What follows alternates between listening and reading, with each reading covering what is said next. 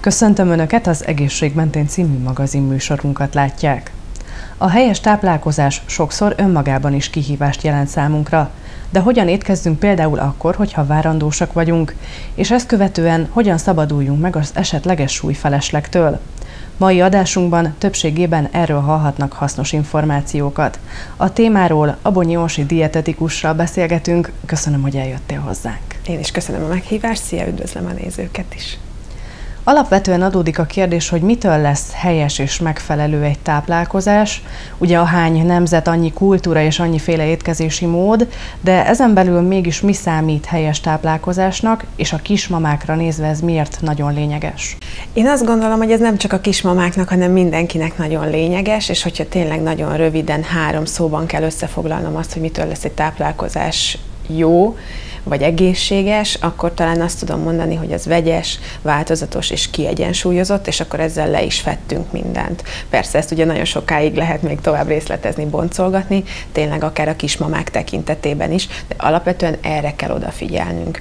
Nagyon jól mondtad, hogy tényleg a, a, a szezonális, a tradicionális, a ránk jellemző ö, étkezési szokások a kiinduló alapok, tehát az, hogy mondjuk most nyár van és Magyarországon vagyunk, és akkor ebből ö, kiindulva válogassunk alapanyagokat, de tényleg figyeljünk arra oda, hogy ne csak azt a két-három bejáratott élelmiszert, hanem egy kicsit próbáljuk így tágítani a, nem is tudom, a, a, a nézőpontot, akár ha, egy, akár ha egy boltban, akár ha egy piacon járunk, különösen tényleg akkor, amikor, amikor kismamák vagyunk, hiszen akkor azért nem egy, hanem, hanem két emberért felelünk. Igen, ez nagyon lényeges, amit említesz, és ugye ezzel szokták keverni, hogy ugye sokan mondják azt, hogy az anyuka kettő helyet uh-huh. teszik. Na most akkor arra kérnélek, hogy tegyük ezt tisztába, hogy két emberért felel, de hogy feleljen normál körülmények között, illetve mikor, mennyit érdemes ilyen szempontból lennie uh-huh. egy anyukának? Igen, ez nagyon fontos szerintem is, hogy, hogy azért ez nagyon nem igaz, hogy két ember helyett, hiszen hogyha ugye a trimesztereket, a három hónapokat, 12-14 heteket nézzük, akkor az első időszakban, aminek valljuk be a feléről nem is nagyon van tudomásunk, ott összesen 150 kilokalória a napi többlet, amit nekünk be kell vinni, hát ez nem is tudom mihez hasonlítsam, egy banán nagy nagyjából. Onnantól kezdve a második, harmadik trimeszterben pedig olyan 300 kilokalória, ami egy jól összerakott szendvicsnek a mennyisége.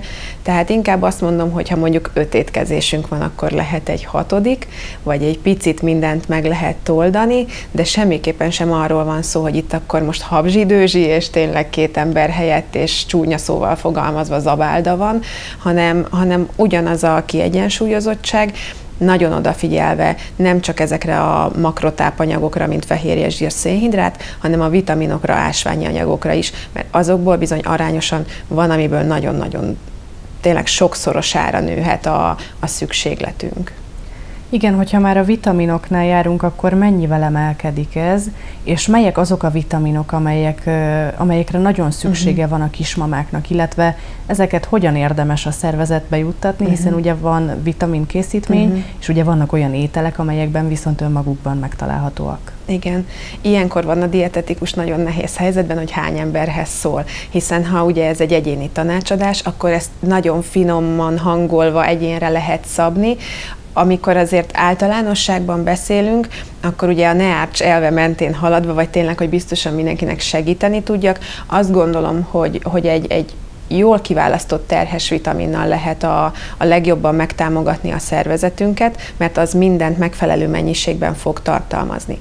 De ha egyébként a kismama már szed valamilyen vitaminokat, illetve eléggé kiegyensúlyozott a táplálkozása, bőven van benne olyan zöldség, gyümölcs, olyan húsféle fehérje forrás, tej, tej termék, hogy tényleg azokat emeljem ki, amikből ezeket az anyagokat úgymond be lehet juttatni természetesen, és ez nagyon fontos, hogy juttassuk be természetesen, mert azok fognak nagyobb hatékonysággal felszívódni, akkor nem biztos, hogy kell a, a terhes vitamin. Én magam például tavaly a terhességem során nem szedtem, vagy csak nagyon az elején, amikor ugye nagyon kevés étvágya van az embernek, én külön-külön rakosgattam össze azokat a vitaminokat, étrendkiegészítőket, amire nekem szükségem volt. Hogyha már beszéltünk arról, hogy mire van szüksége egy kismamának, akkor vannak-e olyan ételtípusok, amelyeket mondjuk érdemes mindenképpen uh-huh. kerülni abban a kilenc hónapban? Uh-huh. Itt is, hogyha próbálok az egyszerűségre törekedni, akkor azt mondom, hogy a biztos forrás.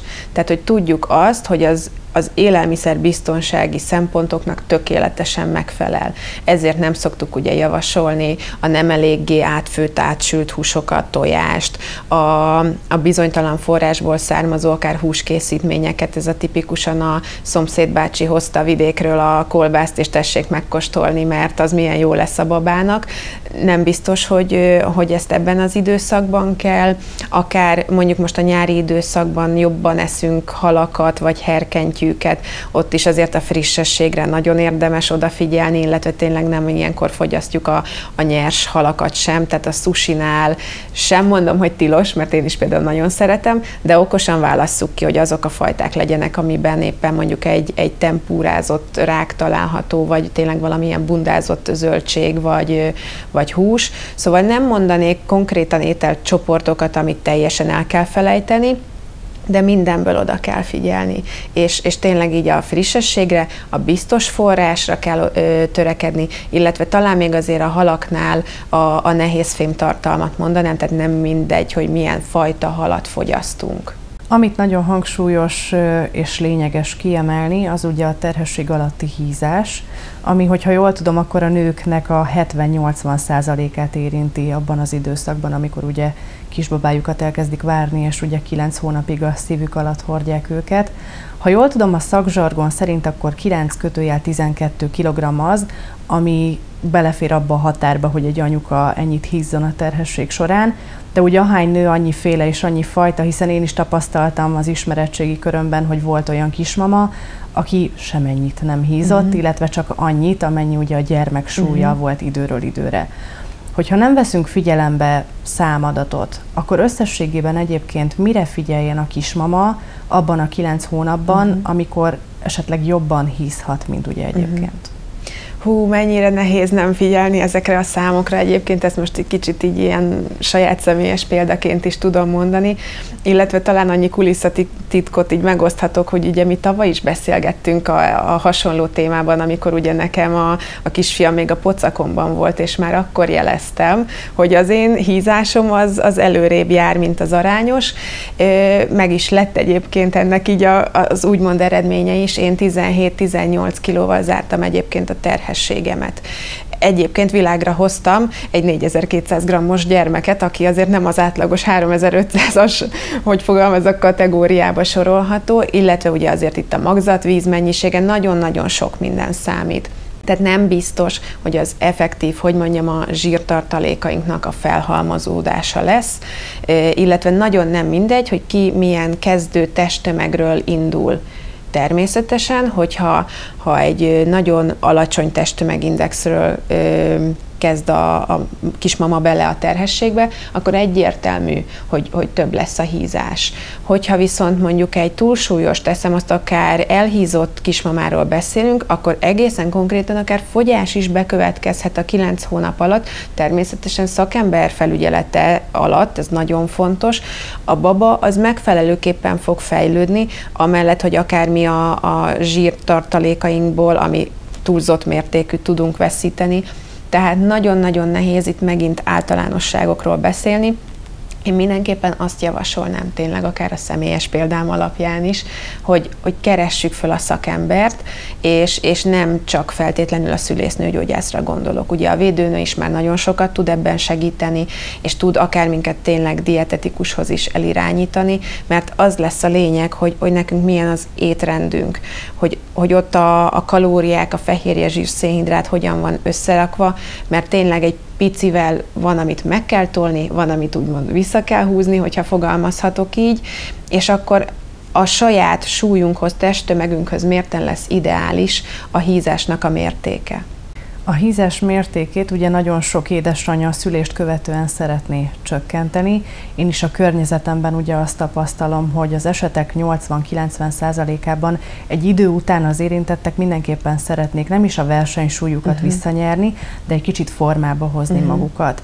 És ugye a szakemberek, az orvosok, a szülésznők például mindig hangsúlyozzák, hogy amíg a kismama szoptat, és ugye táplálja a gyermekét anyatejjel, addig ne diétázzon. Miért is fontos ez? Uh-huh.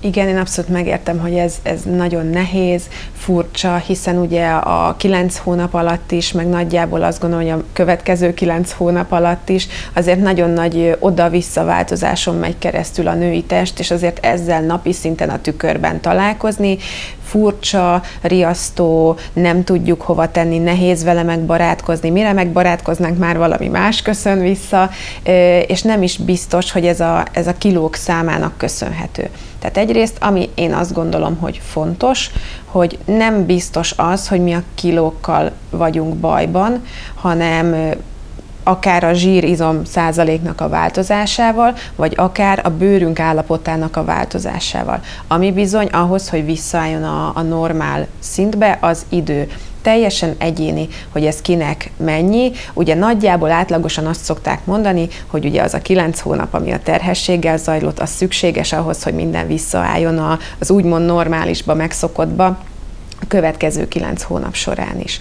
És ugye itt tényleg azt kell kiemelni, hogy azért a, a kisbaba táplálása esetén a legjobb, a legoptimálisabb lehetőség az első hat hónapban az a kizárólagos anyateljes táplálás. Ez pedig igen komoly energiákat emészt fel, ami nagyjából napi 600-700 kilokalóriás mennyiséget jelent, ezt valamiből ugye nekünk tudni kell fedezni nem véletlen van az kitalálva, hogy az a pár kiló, ami ránk ragadt, az pont ez alatt az idő alatt tud nagyon szépen észrevétlenül eltűnni.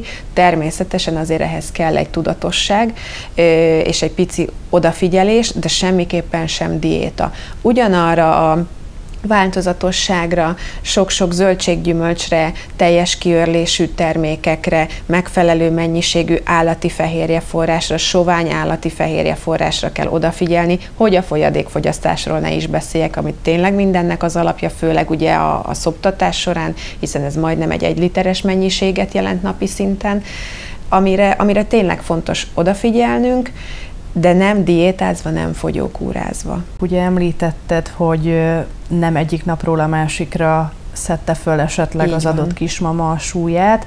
Itt adódik a kérdés, hogy akkor ez mennyire legyen egy lassú folyamat, illetve emellett bármilyen testmozgást vagy sportot uh-huh. idővel természetesen uh-huh. javasolsz-e?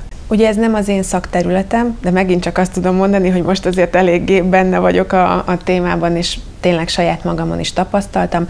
Nem véletlen az, hogy ugye az első hat hetet azt nem javasolják, vagy, vagy hüvei szülés esetén ugye azért ugye a második három hétben már nagyon óvatosan lehet elkezdeni mozogni, hagyjuk meg az időt, hogy regenerálódjon a testünk, és utána is tényleg csak fokozatosan megfelelő célzott mozgásformákat.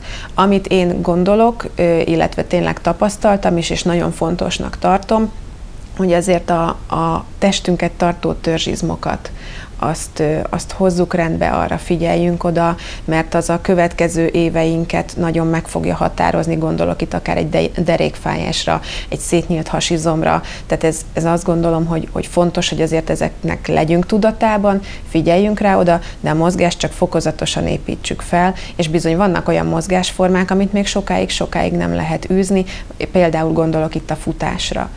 Úgyhogy igen, tényleg fokozatosan, a szakember segítségét kérve, de azért, amikor már úgy kívánjuk, úgy jól esik, és tényleg időnk is engedi, akkor, akkor azért ebbe vágjunk bele.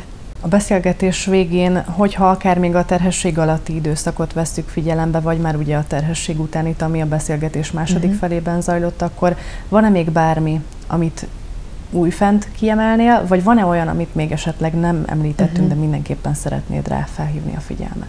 Én azt gondolom, hogy, hogy a kismamáknak egy nagyon fontos üzenet, hogy, hogy legyenek türelmesek magukkal, legyen egy kíváncsiság saját magukkal, illetve a változásokkal kapcsolatban, ne feledkezzenek meg saját magukról.